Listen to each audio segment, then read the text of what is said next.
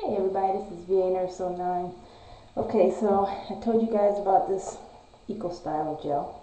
Well, I just tried some coils here, flat twist on the side, and on this side I have um, some finger coils too. And in the back, I just have it spiked out back there. I'll turn all the way around so you guys can see what my hair looks like. Now, even though this product tends to dry, um, doesn't dry really hard as I mentioned, but one thing I do like is that you see how it kind of stretches the hair out in the back, which is kind of cool because uh, those other um, gels don't do that.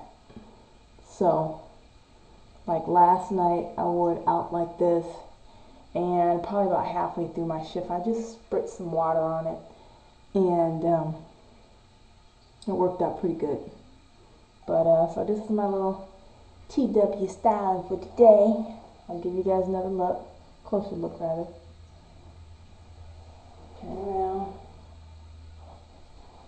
Oops. So this is it. So you know you can play with this gel a little bit kind of cool. All right, talk to you guys soon. Bye bye.